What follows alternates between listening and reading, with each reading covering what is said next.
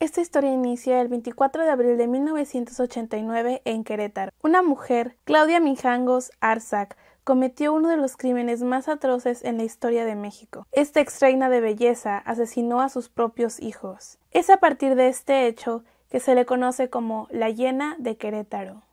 La realidad es que existen muchas versiones acerca de lo que pudo haber pasado el 24 de abril de 1989. Al tratarse de un crimen como este, comprenderán que no hay testigos, solamente personas que fueron involucradas con el caso después de que se encontró la tragedia. Claudia Mijangos, de en ese entonces 33 años de edad, habría pasado varios meses experimentando lo que solo se podrían describir como ataque psicótico, en donde parecía alucinar con diferentes deidades y demonios. Sin embargo, no fue hasta este día que, es, que estas sospechas se transformaron en uno de los hechos más atroces en la historia de México. Hemos visto anteriormente varios casos en los que hemos encontrado personas bastante frías o indiferentes con sus hijos, ¿sabes? Casos en los que se ha llegado a sospechar de los padres, como el caso de la niña Paulette o el caso de Madeleine McCann. Sin embargo, aquí en México hemos tenido cosas bastante similares, como el tema del asesino de Cumbres y ahora el caso de la llena de Querétaro. El padre de sus hijos, Alfredo Castaños, hubiese llevado a sus hijos a la escuela. Esto sucedió al día anterior, es decir, el 23 de abril de 1989. Y al regresar a los niños a la casa de su mamá, ellos comenzaron a discutir. La razón principal de esta discusión hubiese sido generada debido a que Claudia había empezado a sentir un enamoramiento con un cura de la localidad. Creo que es ya de conocimiento público que este tipo de personas que se dedican a la iglesia que tienen que conservarse en celibato, es decir, que no pueden casarse o mantener ningún tipo de relación con alguna otra persona. Esto claramente era una completa ilusión de su parte, según lo que investigué, no se comprobó que ella hubiese tenido una relación realmente con esta persona, pero sí que estaba enamorada. Digo enamorada porque una persona que para ese entonces ya había tenido algunas señales de tener ciertas características características psicóticas, era probable, según muchos expertos, que estuviese imaginando o proyectando ciertos pensamientos suyos hacia la realidad. Entonces, esto no significa que ya que realmente hayan tenido una relación. Claramente su ex esposo comenzó a hablarle acerca de esto, discutieron y antes de retirarse le dijo que se iba a arrepentir.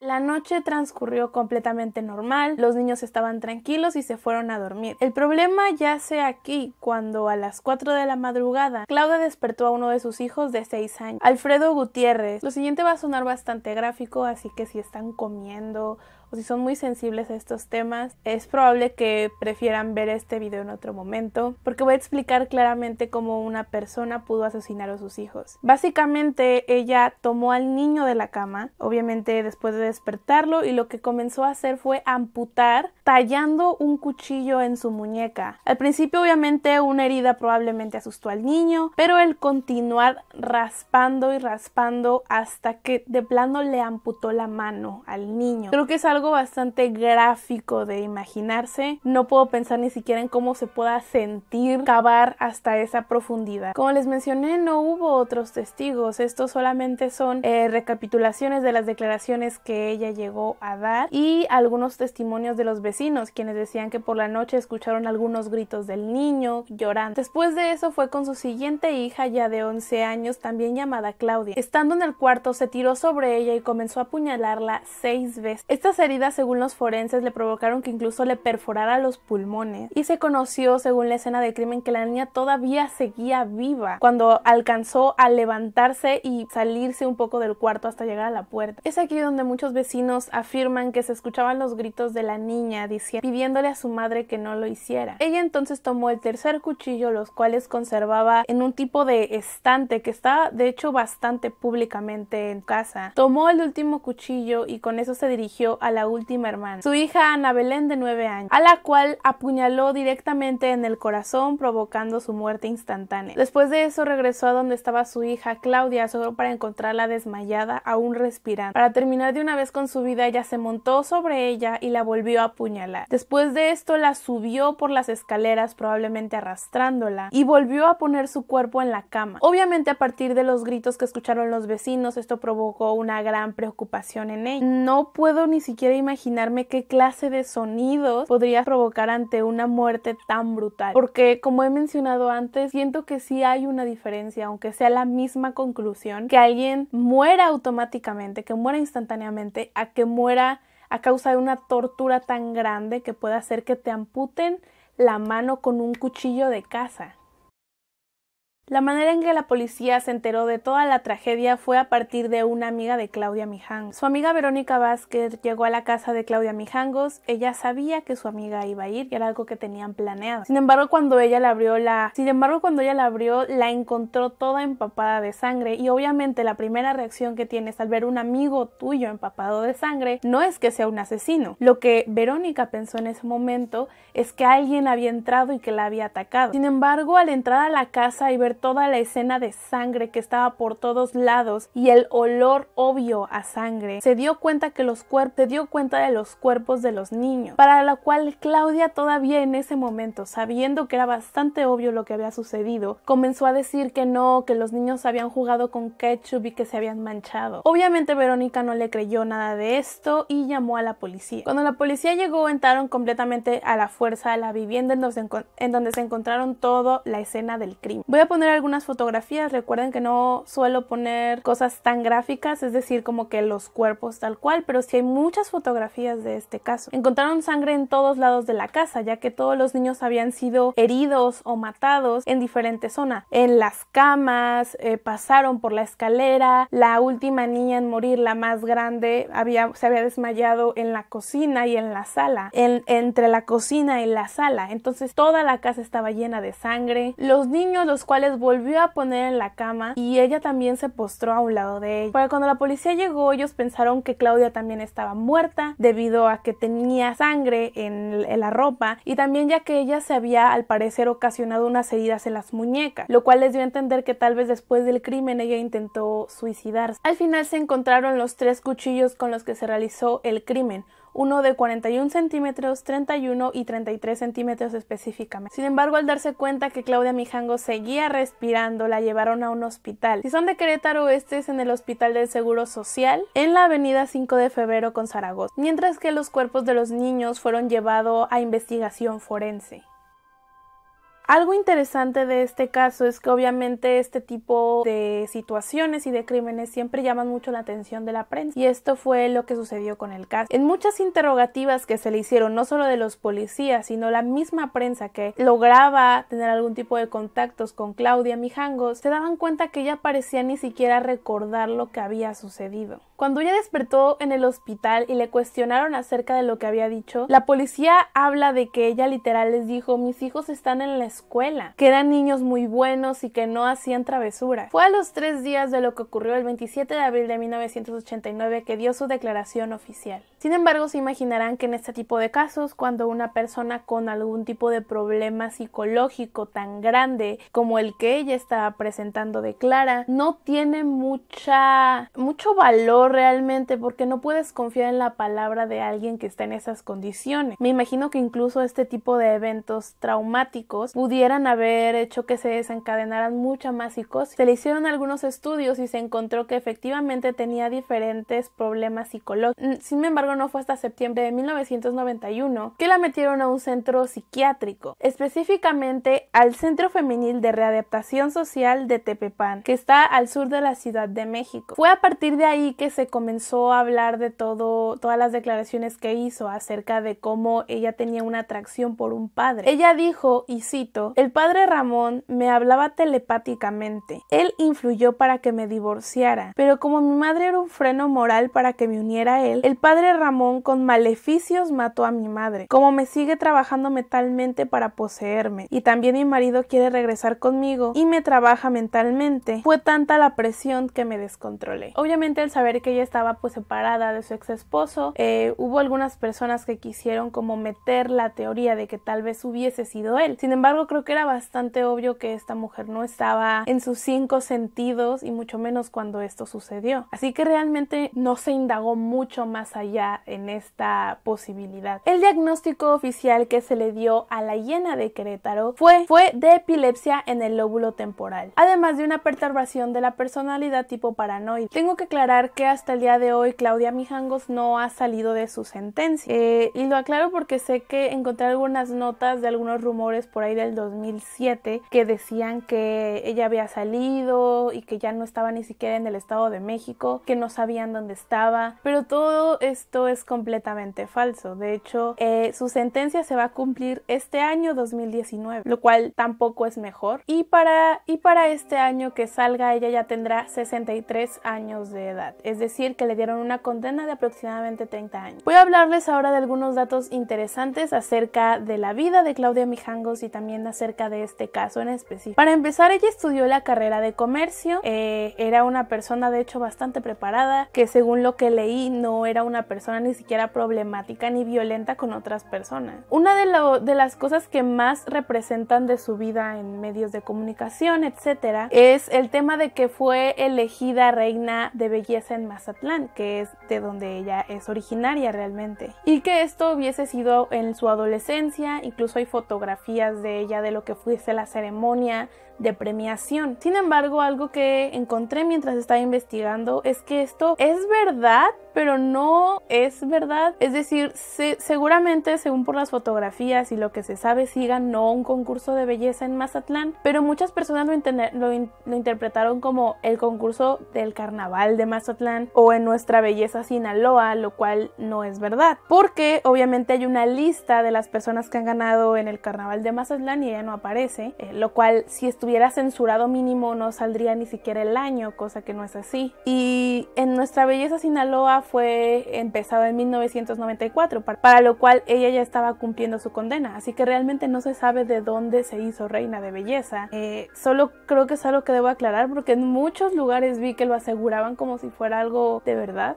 cuando era muy fácil simplemente buscar la lista y darse cuenta que no es así. Ahora, algo muy, muy interesante de esta familia era que eran bastante católicos. Eh, cuando ella y Alfredo se casaron, tuvieron a sus tres hijos y a los tres los tenían en un colegio católico, específicamente al colegio Fray Luis de León, en donde Claudia incluso dio clases de catecismo, eh, no sé cómo se diga en su país, catecismo es como, pues sí, religión, pero por lo regular es para que te prepares para hacer tu primera comunión o tu confirmación, etc. Además de y religión. Se cree o se dice que la, la relación con su esposo se quebrantó después de que además de que él era bastante celoso y posesivo con ella, ella comenzó a presentar estos cuadros de problemas psicológicos que ella tenía. Eh, incluso se sabe que llegaron a ir como a terapia matrimonial con diferentes psicólogos y que se acercaron a la religión para esos temas también con diferentes padres. Y fue en todo este ambiente de la religión que ella se terminó obsesionando con el padre Ramón. Eh, se supone que al investigar con sus amistades cercanas, muchas, muchas decían que ellos eran amantes y que tenían una relación realmente, mientras que otras lo negaban por completo. Mi teoría aquí es que probablemente ella pudiese haber estado mintiendo acerca de la relación que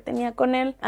es bastante común para este tipo de personas que tienen este tipo de desórdenes que alucinen o no necesariamente se imaginen algo físico, sino que no perciban las situaciones como realmente son. Entonces puede que para ella cualquier tipo de muestra de atención o incluso cariño hubiese significado para ella como si fuesen novios, como si estuviesen en una relación. Ahora, un tema que es bastante interesante que tocar es que se supone o se, se cree que Alfredo, es decir, el ex esposo de Claudia, hubiese sido bastante maltratador con ella. No solamente en el aspecto de que fuera celoso o posesivo, sino que realmente ejercía abuso físico y psicológico en ella, que la llegó a golpear en varias ocasiones. Ahora, esto no justifica que asesines a tus hijos, pero algo que me pareció interesante es que él nunca se le investigó. O sea, claro que hubo personas que quisieron como involucrarlo, especialmente los defensores de Claudia Mijangos, pero nunca se llegó a nada. Tengo entendido que nunca lo interrogaron para saber si él tenía algo que ver ahí, que realmente lo dudo mucho que él haya asesinado a los niños o algo de eso, pero no sé, hay mucha gente que piensa en eso de, pues si hay alguien que le está provocando que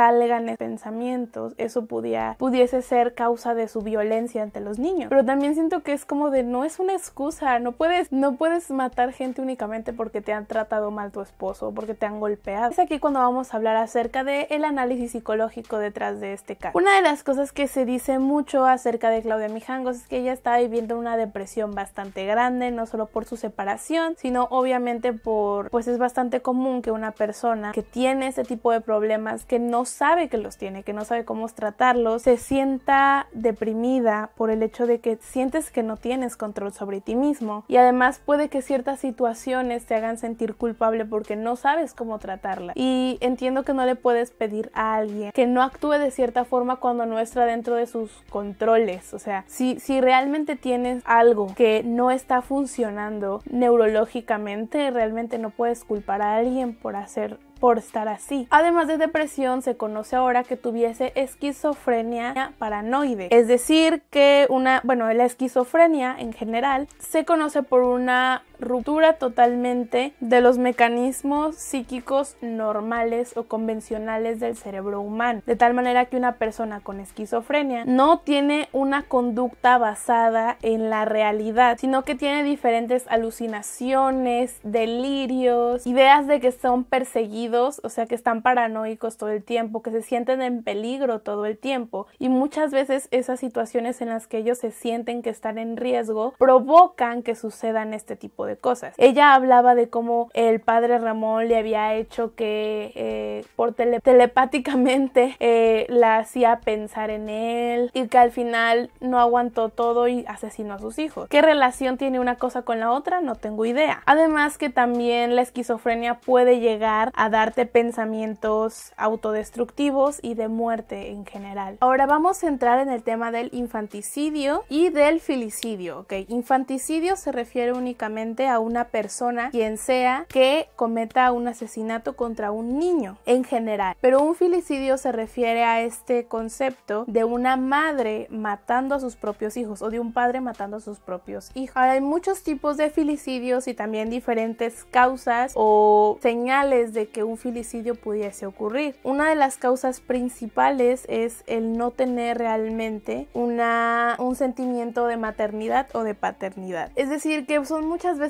personas que no planeaban tener hijos o que no tuvieron hijos realmente deseando tenerlos y obviamente al no ser algo que quieres o que planeas, eh, empiezas a tener o, los asesinas tal cual o en los mejores casos los dejas vivir, pero son niños que crecen siendo abusados, siendo golpeados, a los cuales se les insulta todos los días. Eh, y lo peor es que siento que ha sido como muy normalizado porque yo conozco gente al día de hoy que me ha dicho que su madre les ha dicho que ojalá no hubieran nacido, o sea, es algo que realmente pasa. Ahora, otro punto que encontré que pudiese explicar este tipo de homicidios hacia niños, especialmente a los hijos, es el tema de tener alguna vulnerabilidad que no te permita tenerlos. Es decir, que no tengas un trabajo seguro, que no estés sustentado económicamente, que tal vez eres una mamá soltera o un padre soltero. Esto me, me recordó mucho hace un tiempo, yo tengo unas gatitas y una de ellas me di cuenta que cuando tuvo gatitos se deshacía de un gatito siempre. Y investigando en internet, porque yo no podía entender cómo que un gato hace eso a sus crías, porque a, los demás sí los quería, entonces no era que no quería ser madre, era uno específicamente. Siempre era el más eh, callado, como el más tranquilo, y el más pequeñito, que había nacido más flaquito. Investigando acerca de eso encontré que varios animales cuando tienen a sus hijos eh, y los niños o los, las crías salen enfermas o muy delgaditas o en general requieren más cuidados, suelen deshacerse de ellos, o sea, no necesariamente que los maten así a sangre fría, pero los toman y los abandonan en algún lugar en donde fallece. Y es algo muy fuerte, pero recordemos que estamos hablando de animales. Y cuando estaba investigando acerca de esto me di cuenta que hay mujeres que hacen lo mismo, que al ver que sale algún niño con algún tipo de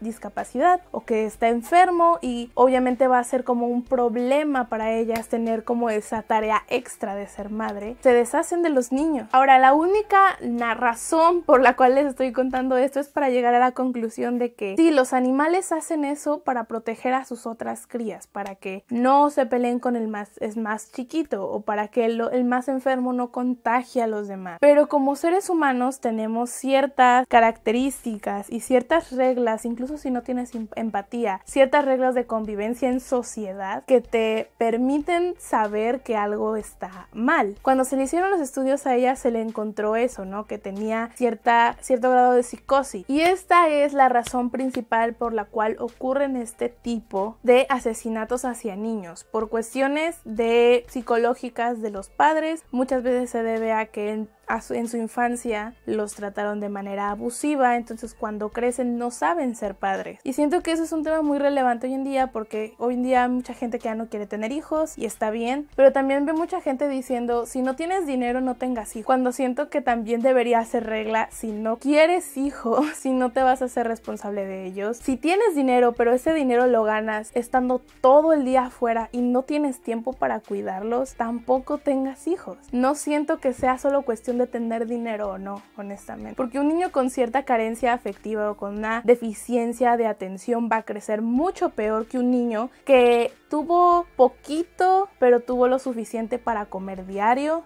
que tal vez no tuvo un, un, videojuego que tanto quería, pero sus papás lo querían mucho y nunca pasó, obviamente, no estoy diciendo que en pobreza extrema. Y otro punto que tenemos que tocar es el tema de los recuerdos reprimidos. Una de las cosas que me di cuenta en este tipo, eh, en esta invasión, es que Claudia Mijangos actuaba como si no se hubiese acordado de lo que hubiera pasado, incluso hablaba directamente de que, ah, sí, mis hijos están en la escuela. Es normal que en este tipo de brotes psicóticos, e incluso ni siquiera en eso, en muchas veces eh, personas con trastornos psicológicos, eh, por ejemplo, la clepto, por ejemplo, los cleptómanos que roban, después ya no se acuerdan de lo que sucedió. Pero es un tema, según lo que me sigue, de hacerse un tipo de escudo para no tener que lidiar con eso. Ahora, algo que me encontré cuando estaba investigando esto es que hay mucha gente en el ámbito de la psicología que no cree en los recuerdos reprimidos, por el tema de que está relacionada con el psicoanálisis, que si han investigado esos temas o si son psicólogos sabrán que el psicoanálisis en general muchas veces las personas lo ven como que no es real o que es una pseudociencia y que no es en serio. El tema de los recuerdos reprimidos se basa en que cuando tienes alguna situación traumática en tu vida, tu cerebro lo, lo reprime para no tener que lidiar con eso. Muchas veces este tipo de recuerdos se te presentan cuando ya eres adulto y alguna cosa, ya sea un olor, eh, un, un sonido, incluso algún color, te recuerda a ese algo. Y estoy segura que a ustedes más de alguno le ha pasado que recuerdas algo y no estás seguro si realmente pasó o si lo soñaste. Y ese también es un caso bastante bastante ligado al tema de los recuerdos reprimidos, que es que no estás por 100% seguro porque tu mente lo bloqueó hace muchísimo tiempo. Eh, obviamente, es lo, obviamente esto se puede confundir con los recuerdos falsos, que es cuando alguien eh, te dice ciertas cosas y por o te describe algún evento y tú aunque no te acuerdes te lo imaginas y dices, ah sí, me acuerdo, pero realmente no estás recordando, lo estás imaginando en el momento. Es un tema bastante extenso, pero me dio bastante curiosidad porque ya hablado anteriormente de sueños lúcidos y de este tipo de temas en cuanto a o a parálisis del sueño y creo que muchas veces tenemos que saber distinguir si realmente fue un sueño o si fue un evento que realmente sucedió. Realmente no hay muchas teorías detrás de este caso. Las únicas que encontré se refieren más a, eh, a las razones por la cual estuviese sucedido conforme a la esquizofrenia que ella hubiese presentado. La primera teoría es como les digo que este hombre su anterior esposo, Alfredo, hubiese tenido algo que ver con el tema de provocarle ciertos traumas. Como mencioné, este tipo de comportamientos y problemas psicológicos muchas veces se remontan a violencia que has normalizado en tu entorno. No podría agregar más que eso porque no se le hizo una entrevista al señor como para saber si esto hubiese pasado. Pero algo que yo sí siento que debemos recordar es que no todas las personas que son abusadas se hacen Entonces, para, para decir que, que la razón fue esa, creo que es como estirarlo demasiado o hacerlo ver de cierta forma que no es. Lo mismo pasa con la siguiente teoría, que es que el padre mismo haya sido quien ejecutó los asesinatos. Hubo un grupo de personas, en su mayoría mujeres, que querían hacer ver como probablemente este hombre al enterarse de que es ella y el padre Ramón tenían una relación que se supone que no, pero supongando, suponiendo que sí, eh, en un ataque de celos que se sabía que él era celoso y posesivo, hubiese asesinado a sus hijos y que hubiese intentado asesinar a Claudia. La razón por la cual esto es conflictivo es porque Claudia en algún momento sí confesó haber sido ella, pero después volvió a cambiar su historia que no se acordaba. En esta teoría se supone que él hubiese ido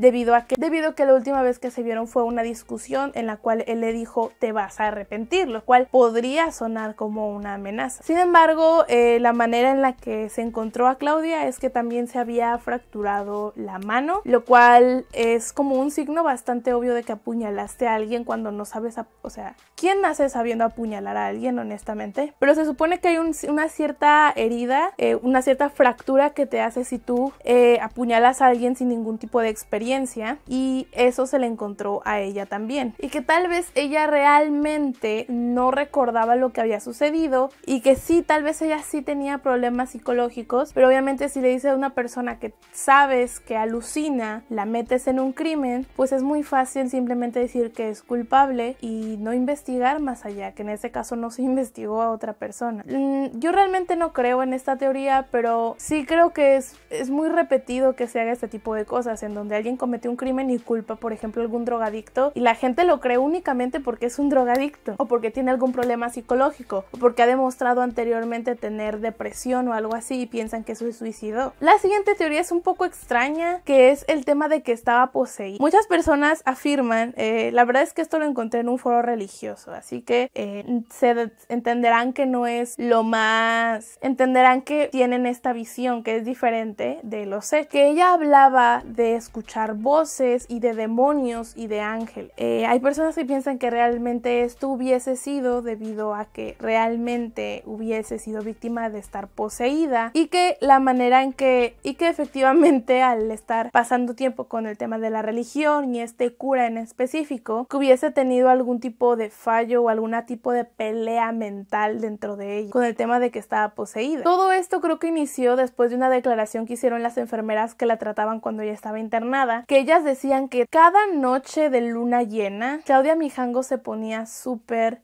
violenta y agresiva y cada vez que había luna llena la tenían que meter en una celda especial.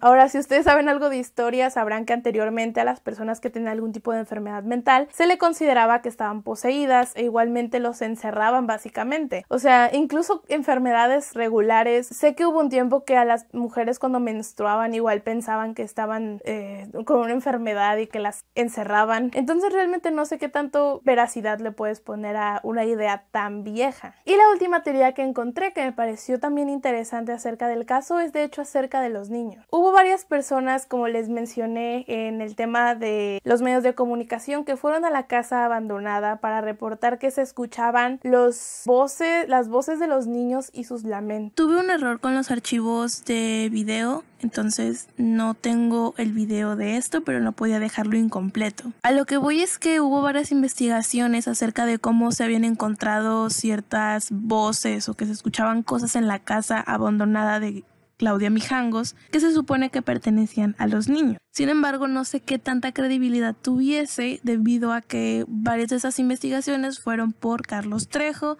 que si no son de México, Carlos Trejo es un investigador de este tipo de cosas paranormales, pero a él se le conoce porque en varias ocasiones ha fingido o ha mentido en cuanto a sus investigaciones, exagerando cosas, eh, poniendo actores y todo ese tipo de cosas.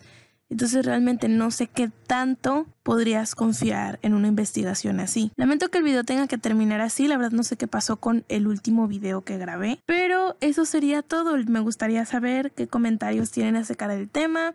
Si les gustó el video de hoy, por favor suscríbanse, denle me gusta y déjenme saber en los comentarios ustedes qué opinan. Eso sería todo por el video de hoy y adiós.